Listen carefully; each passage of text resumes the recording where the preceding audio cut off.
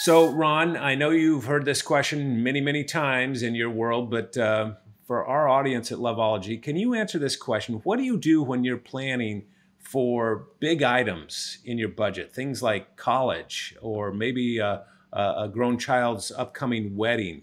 Uh, what do you do? Because that's like, you know, that can really impact a budget. So, what do you do? Well, first of all, um, I think one there's kind of a general ground rule and that is that uh, you don't want to have coping gaps. And by that I mean the earlier you start, uh, like planning for college and planning for marriages, and communicating that with your children, the less coping gap you're going to have when it comes time for going to college or uh, getting married.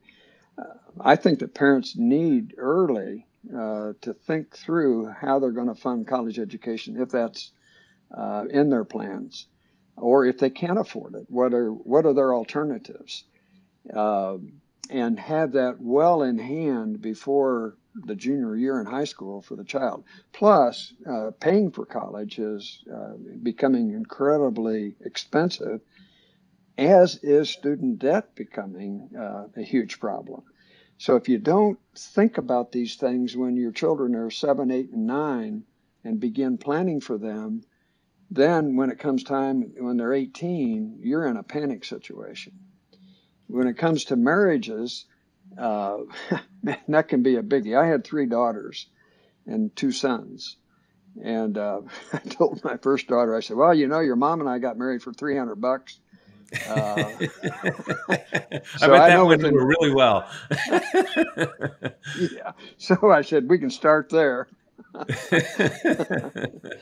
But the way I worked it with marriages with the daughters is I set a budget. Yeah. And I said, you can spend that any way you want because you're going to buy a dress and you're going to buy flowers and you're going to buy entertainment and so forth and so on.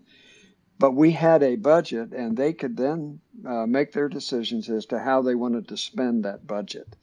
I didn't want to be in the position of having to negotiate every spending decision. Uh, and it's their wedding. Yeah. Um, so so it's uh, avoid the coping gap by planning ahead for those two big big items. Yeah. Um, it's too late to begin planning when they are on you. Yeah, this is something that involves advanced planning and then delayed gratification, really socking that money away for when you get to that moment, right? There's no other there's no shortcut to it. No, you know it's been interesting too as I've counseled people over the years and they followed the counsel.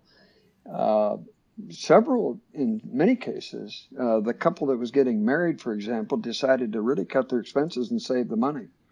Hmm. Uh, uh, and I, I had said, look, whatever's left, you can have. This is how much I'm willing to spend on, uh, on the marriage. So, yeah. but you put the decision in the uh, child's hands as opposed to in your own hands of having to decide all that. Yeah. Uh, well, so really... communication, communication, communication. Yeah. Pre-planning, pre-planning, pre-planning. and, and a sense of empowerment comes out because you're entrusting your your grown children to to make the decisions that are best for them too. So, Ron, thank you as always for your value here at Loveology. You bet.